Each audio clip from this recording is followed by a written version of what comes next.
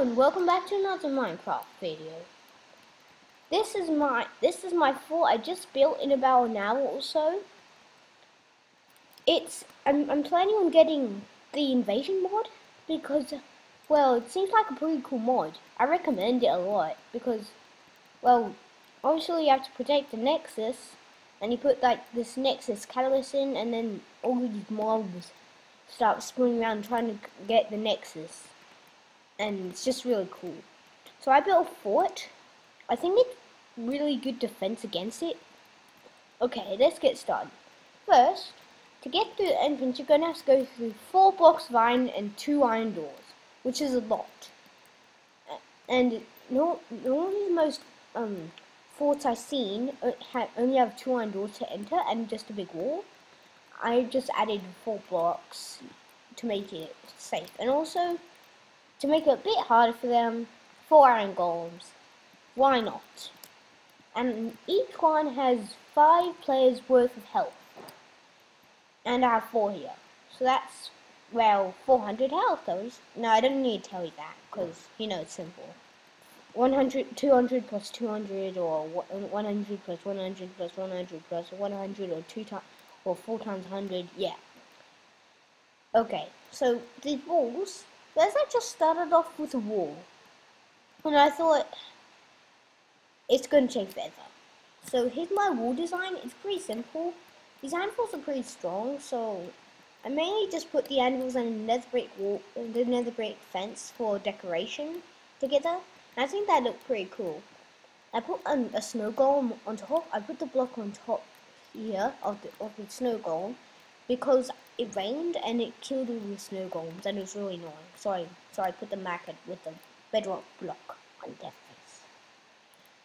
Okay, now, also, there's obviously a lava, lava mode, so if they get through this, and this guy doesn't push them back and they get through as a group, which can be very dangerous because in a group they could do lots of damage, they have to get through the lava mode, which is a pain. I'm not sure if it's pig engineer proof. They could probably just start here and maybe pillar up. I'm not sure if they if they're smart enough to do that. They probably are. I made a little flag flag. I muck up my words a lot. Um I think it's well okay.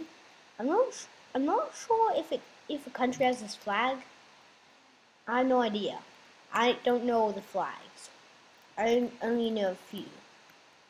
More like three or two anyway, so so also it's I guess it could be spy proof because they will climb up and they will get caught in the cobwebs, which will take a while to get through, and I can maybe snipe them or or the or the snow golems could, and then they would get up and well, they stop because because well they get stopped by this block, which is going to be great for defending against them. Okay, now it's time to get inside. So once you get in, you'll be greeted with, well, staircase. Okay, here's the path up to the Nexus. It, it uses parkour. Oh, I'm not very good at, at explaining why I do car, ugh, car, parkour. So I'm just gonna do this silently.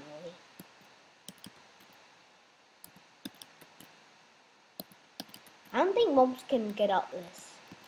I don't think they're intelligent enough to get up parkour. No, they're probably not. And then the Nexus is in here.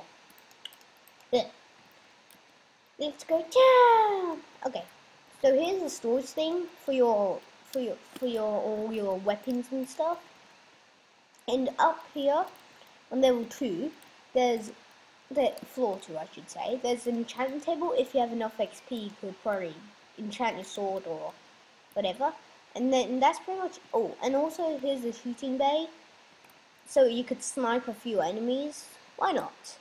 And then, if that's not enough, you can probably just, when you get up to the Nexus, there's there's a big plat. Sorry for the, any background noise. There's a big platform. Now I might just break that and break this and replace it with bedrock. Oh, ugh, I'm terrible at this. Bedrock. I might just do that so you could go here and snipe them all because, well, it's much easier because this is like a massive sniping area.